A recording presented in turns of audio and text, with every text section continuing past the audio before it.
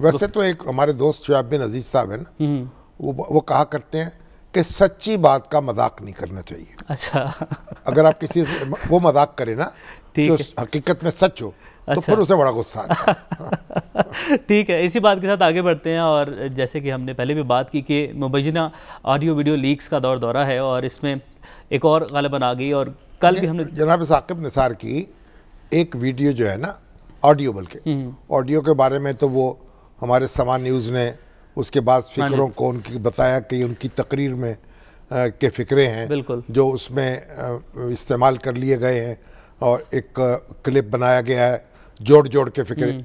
लेकिन उसके बाद फिर उनकी एक और आ गई ऑडियो। वीडियो भी है शायद? हाँ ऑडियो है ऑडियो है। हाँ उसमें फिर वो आज़ार ख्याल फरमा रहे हैं। देखिए अब साकिब निसार साहब ने जो तरदीद की थी जी जी। पहली पहली जो लीक है उन्होंने कहा था ये मेरी आवाज़ नहीं है। लेकिन समाज टीवी ने जो अपना प्रोग्राम पेश किया है वो उनकी आवाज़ को उससे तो उसकी आवाज़ तो उनकी है। हाँ जी।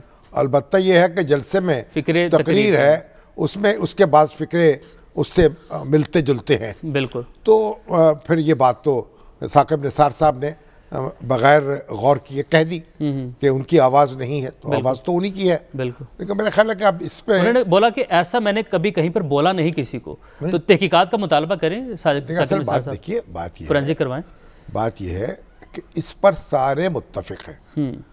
मुस्लिम लीग नून के रहनमा भी जो नामवर कानूनदान है वो भी और हुकूमत के हल्के भी कुछ नीमे दरू नीमे बरू। तो सब कह रहे हैं कि इसकी तहकीकात होनी चाहिए।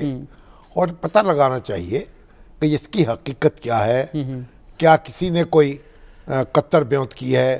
कोई इसको एक मन घड़त ये ऑडियो है तो उसका भी पता चल जाए।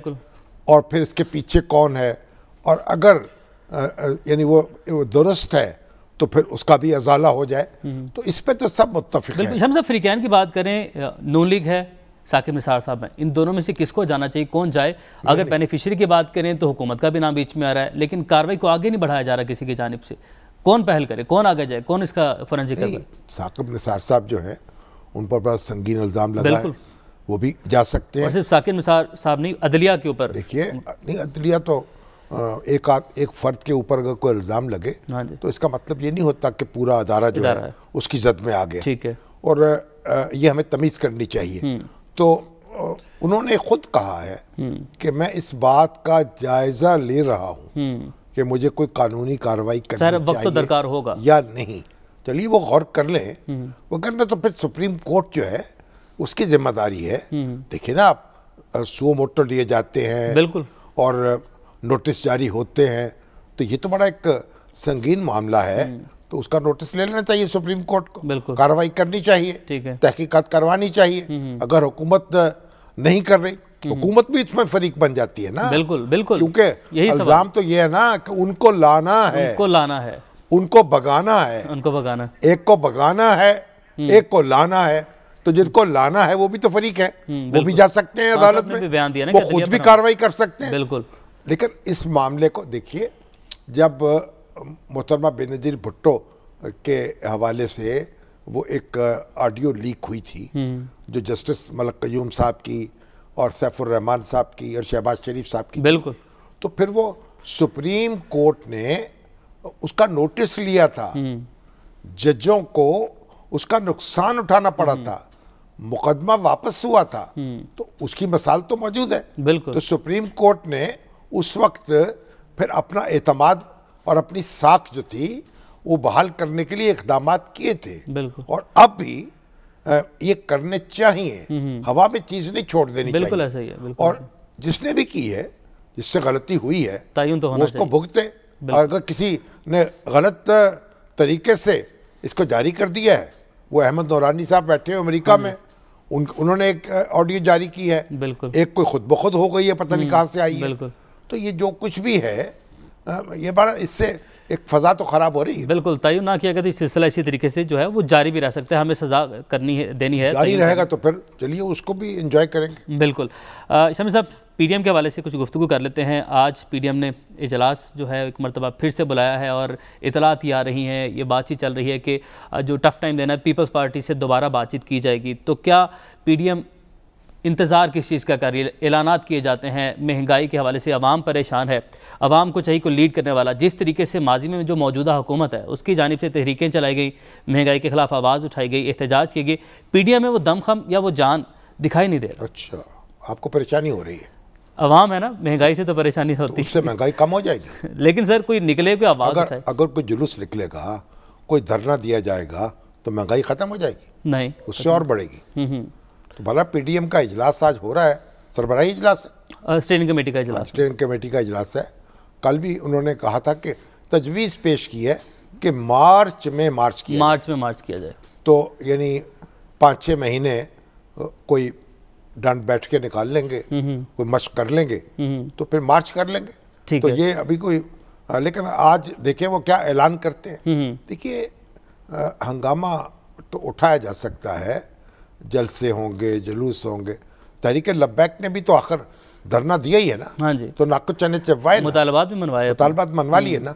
तो अब अगर साद रिजवी साहब की जो पार्टी है उसके नौजवान ये काम कर सकते हैं तो फिर जनाब नवाज़ शरीफ साहब के और मौलाना फजल रहमान के जो जयाले हैं महमूद खान अचकजई के और अगर पीपल्स पार्टी भी साथ मिल जाए तो फिर वो भी इकट्ठी हो। जाएगी।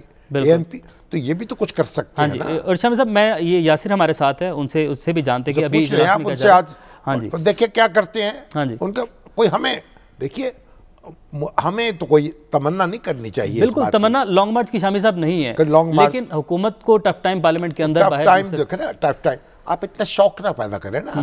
अपोजिशन अपना काम करेगी हुकूमत ने अपना काम करना है।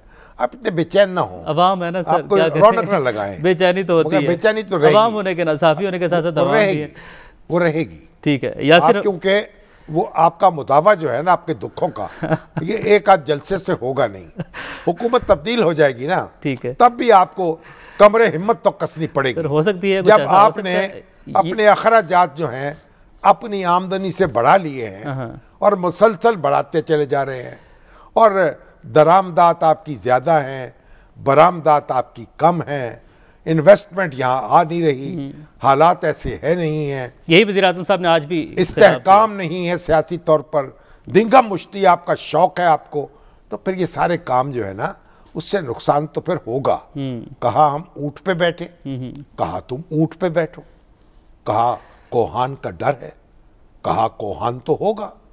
अगर आप क्या बात? बेचैनी के ऊँट पे बैठेंगे तो कोहान तो मिलेगा आपको। ठीक। तो आप ये सारी जमातें जो हैं खुदा के लिए खौफ खुदा करें मिलकर बैठें कोई मिसाक मीशत भी बना लें उस प्रोग्राम को आगे लेकर चलें अमन से कमरे हिम्मत कसें एक दूसरे को जीने का मौका दें।